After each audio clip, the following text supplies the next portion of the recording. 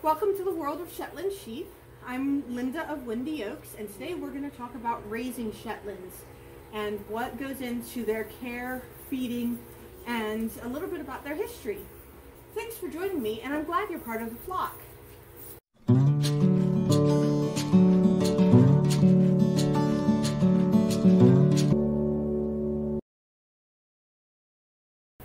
Shetland sheep are called that because they come from the Shetland Islands off the north coast of Scotland. They are originally brought to Shetland by the Vikings. They're what's known as a primitive breed, which means that they have not been altered over much from the way they were on Shetland for hundreds of years. You can see, I hope, Miss Demeter just turned perfectly to see her tail. It is a triangle shape, also known as a fluke shape. It does not get too long and it does not need to be docked or cut in order to keep the sheep healthy. Shetlands came to the United States through Canada. A flock was imported to Canada in 1980 and it moved from there. And now they're raised across the country. They are, of course, still raised in Shetland and in other parts of the UK and even other parts of the world. They are a very popular breed because they are small and easy for one person to handle. They are very clever and have loads of personality. They give amazing wool that is great for all sorts of fiber arts. Uh, knitting, spinning, weaving. They can be horned or polled. What that means is, like Demeter here, she does not have horns. Uh, but there are some ewes or females that do have horns. My rams, my boys, do have horns, and there are some rams that do not have horns. So it really depends on the breeding line as to whether or not they have horns. Shetland sheep are very hardy. They don't need special feed under most circumstances. They do just fine on grass and grass hay in the winter. So that makes them a great economical sheep that you don't need to pay for extra feed. I do occasionally give them sweet feed, which is a mix of some grains, corn, a little bit of molasses, etc. Uh, that I give them just as a treat. I, I, they get about a handful maybe once a day because it brings them into the barn so I can get a head count, lay eyes on everyone, see how everyone's doing. One of the cool things about Shetlands is they're what's called thrifty. It means that they don't need tons of food to put on weight and fleece growth. They do just fine on small acreages, and because of their small size and the fact that they grow primarily on grass, they're great for small farms, or as the British call it, small holdings. You can usually have about three to an acre, but it depends on your pasture, how good it is, how big it is, how long it has to rest between grazing periods, etc. They do eat hay in the winter, which is essentially just dried grass. So you do have to be aware of that. We typically feed from October or November, depending on, on the weather and the pasture, through to about April. Shetlands also like to browse. The difference is grazing is all head down, browsing is head up, which means that they will eat things like trees, bushes, and things other than just grass. So you do need to make sure that if you have any trees you want to survive, that they're fenced off. One of the neat things about Shetlands is they actually have multiple wool types all on the same sheep. So I don't know if you can see Miss Demeter's being a very helpful uh, demonstration, but here on her hind legs, the fleece is not as fine and crimpy as up on her neck.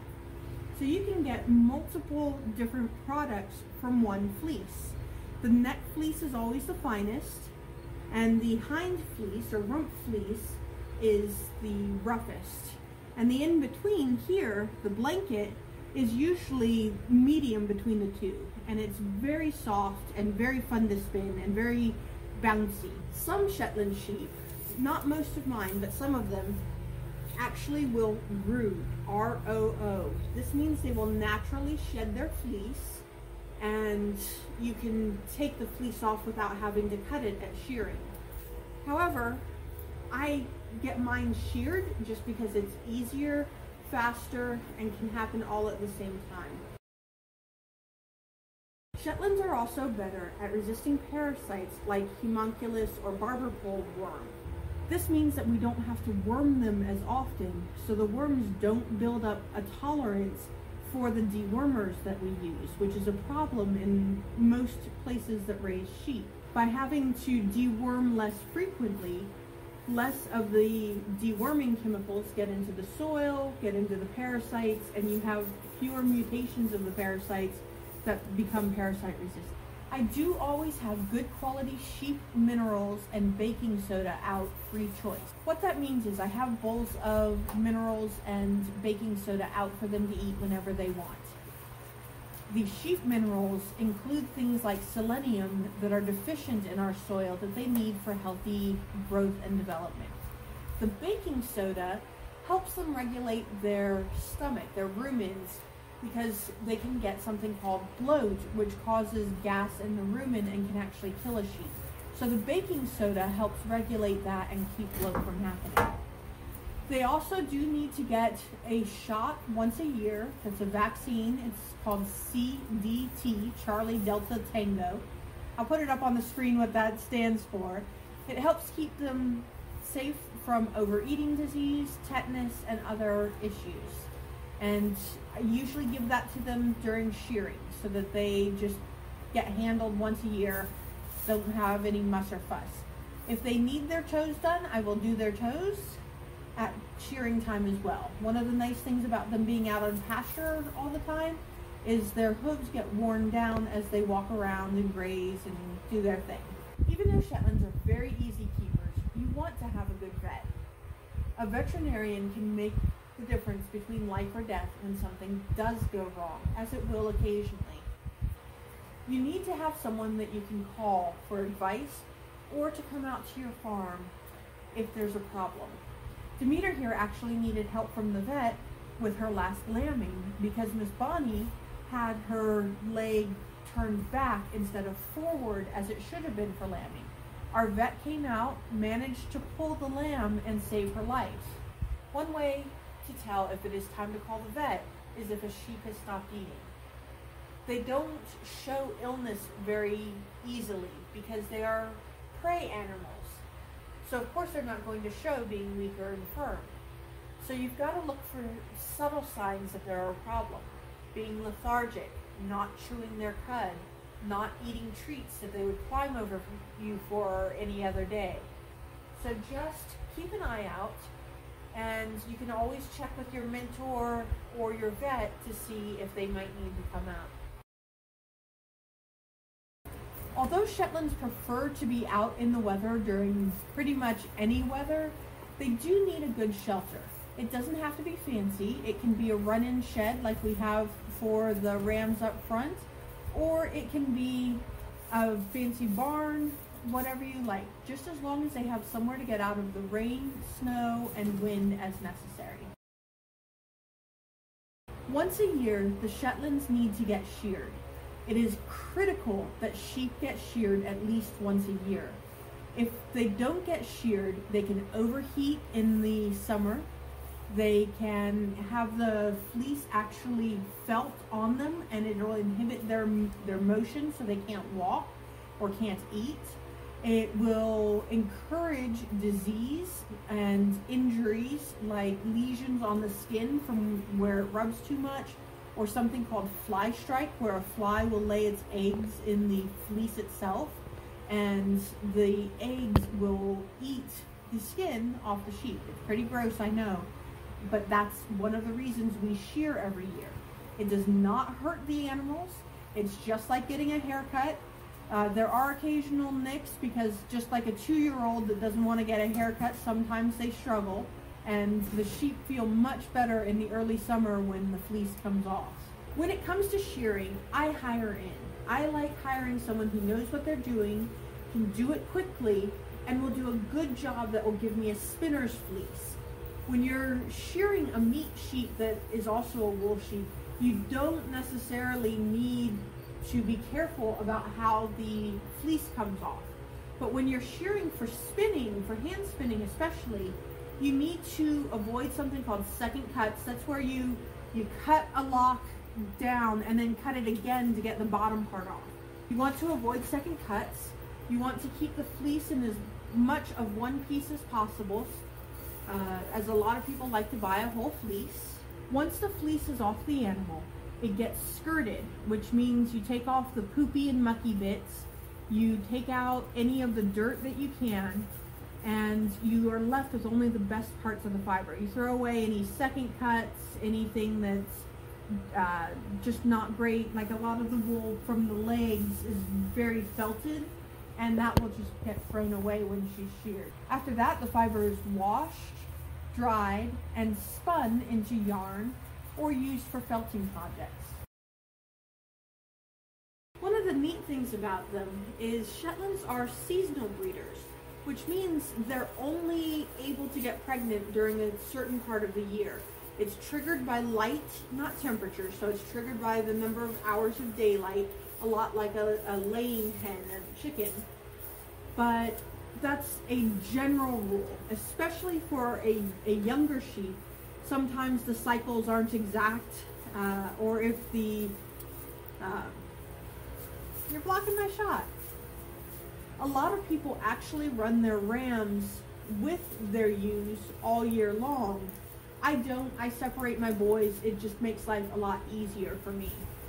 But there are not a lot of what you call oops lambs with Shetlands because their, their cycle is pretty much tied to a certain period in the year. Most of the time they'll have either a single lamb or they'll have twins. Triplets are not unheard of, but they're not common either. They're what's considered very milky, so most of the time the lambs have plenty to drink. Sometimes if you have a triplet, you might need to supplement the triplet to make sure that they're getting enough milk. But for the most part, it, you can let the sheep be the mom and not worry too much about raising a bottle lamb every year. One of the things you can do to affect your lamb production is called flushing. What that means is you increase the plane of nutrition, you increase the amount of nutrition the sheep gets before breeding and then again before lambing. The additional feed helps give them the energy and the nutrients they need. And the more nutrients they have, the more their bodies are able to carry twins or sometimes even triplets. One of the things that I wish I knew when I first got sheep was that lambing is something that you really should plan for. I just thought you get sheep, you have to lamb. It's it's part of raising sheep. Well, that's not true. We're really full up here on our paddocks. We don't have the room to support another dozen or more sheep. And I don't like sending my sheep out to an auction or to uh, people that I don't know because I've had bad experiences with selling to people that haven't taken proper care of them. So I am not currently breeding. And you know what? That's okay. I don't have to have lambs every year, no matter how cute they are. So be very intentional with your breeding. That's something that I didn't know at the time. Talking about raising sheep for meat is a tough subject, especially since today most people don't know where their food comes from. It comes in a little white plastic wrap package from the grocery store. Well, I decided that since I am a meat eater, I would like to take responsibility for where my meat comes from.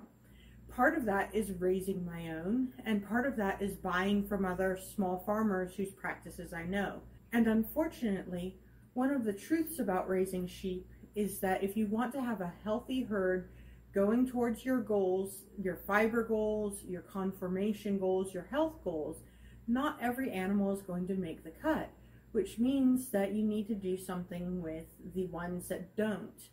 And normally we cull them. Now, cull, C U L L, can mean just we stop breeding them, or it can mean we send them off to the butcher.